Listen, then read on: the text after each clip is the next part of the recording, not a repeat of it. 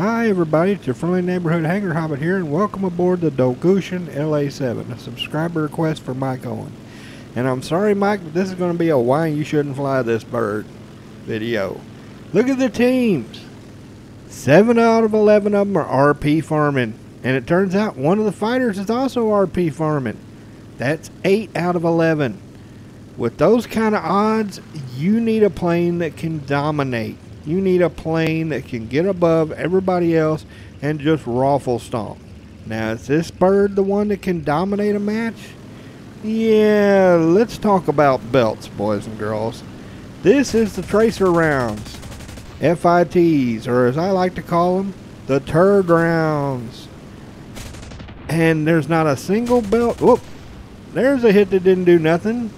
Come on, can we get two hits that don't do anything? I'm sure we can. Yep, there's two hits that didn't do anything.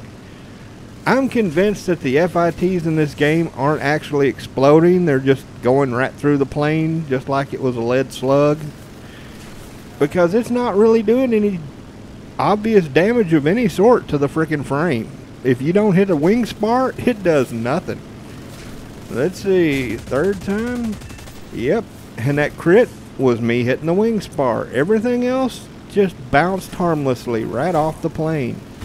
I should have saved the chat because the guy actually talked to me in chat after the match, told me how about I got ripped off because he said it was sparking all over the plane but was not doing a dang thing.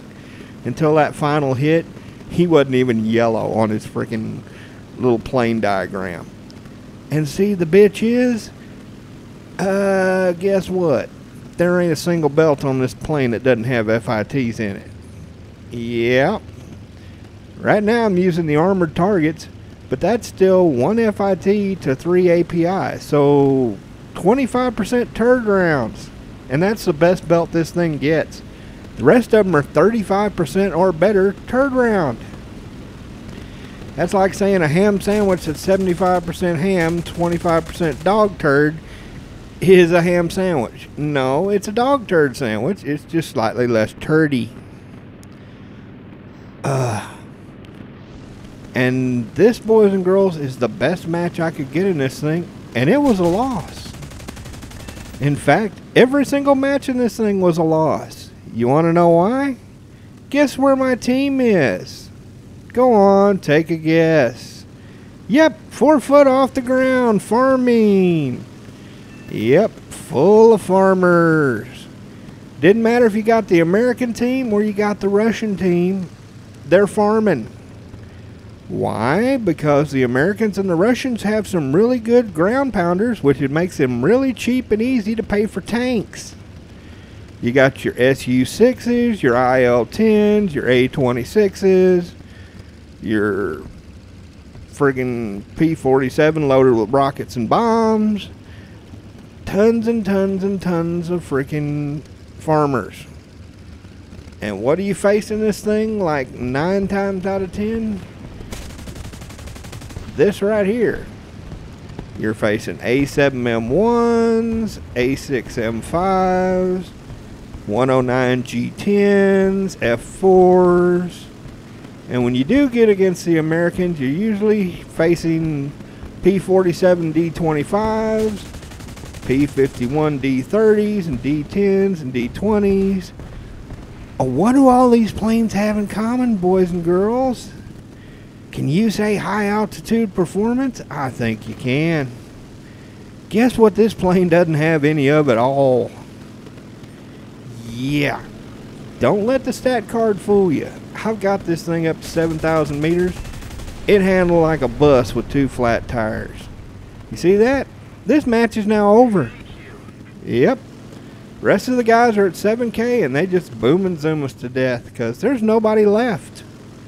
And I can't climb up that high because this thing wheezes and sneezes like it's an 85 year old trying to get up a flight of stairs once it gets past 6,000 meters.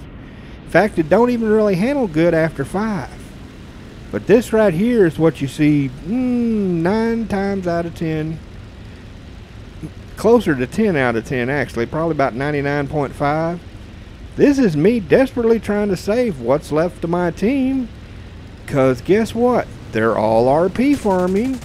And I don't have the high altitude performance to go up top to deal with the bunch that's right now slaughtering all our bombers.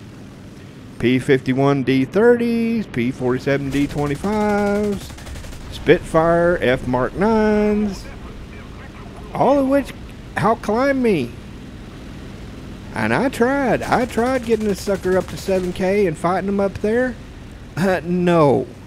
This thing handles worse than an IL-2 at 7,000 meters.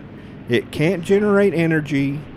It cannot freaking dive. Literally, hey, you try to dive with a P-51D behind you, he's just going to laugh and rip you apart because you will fly yourself apart before he even gets it wound up good.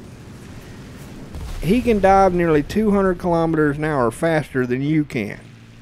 Same goes for the F4. Heck, even the Spitfire doesn't lock up as early as you do. I can put a Spitfire F Mark 9 in a dive and keep up with this thing. That's just sad. And see, look, team's gone. Yep. We got one guy that's landed out in the woods after friggin' using his Yak 9T to kill friggin' pillboxes. And that's it. Takes about a minute and a half for the stupid game to register he's actually dead, but oh well. I'm sure you'll see the defeat come up here in a second.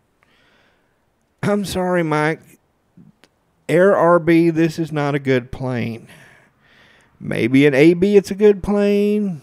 Enduring confrontation, something where you actually have a reason for planes to fly low and engage below 4,000 meters. See, this plane was built to fight against the 190 with bombs on it and the freaking ducks on the Eastern Front. That's not what you get in this game. What you get in this game is everybody's at 7K and you're at 4,500 just waiting to get picked off. So I'm sorry, but no. Fly the Stalin Bolt, fly the Yak 9, fly the Yak 3P, fly the 185. Any of those are better than this bird. This bird just doesn't have the high altitude performance for the meta of 4.7 to 5.3 in air RB. It just can't cut the mustard. Well, I hope you like and share, and I hope to see you up there in the clouds. Have a good one, y'all.